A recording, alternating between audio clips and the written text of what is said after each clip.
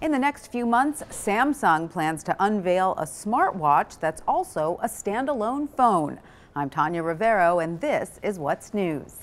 The South Korean tech giant plans to roll out a smartwatch that will make and receive calls without being tethered to a smartphone.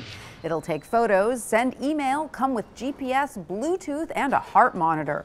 Samsung is currently the top seller of smartphones and is now in talks with telecom carriers in the U.S., South Korea, and Europe about its watch phone. Google is developing a new cutting edge tablet as it continues to experiment with advanced vision capabilities for mobile devices. The company plans to produce about 4,000 prototypes starting next month.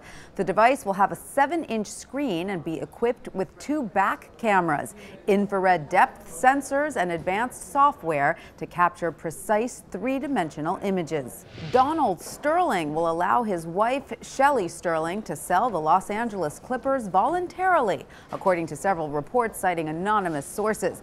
Shelly had previously said she would fight to keep her 50% stake in the team. The team has attracted several high profile potential buyers, including Oprah Winfrey. And that's what's news. I'm Tanya Rivero. For more on these stories and all the latest news, check out WSJ Live and WSJ.com.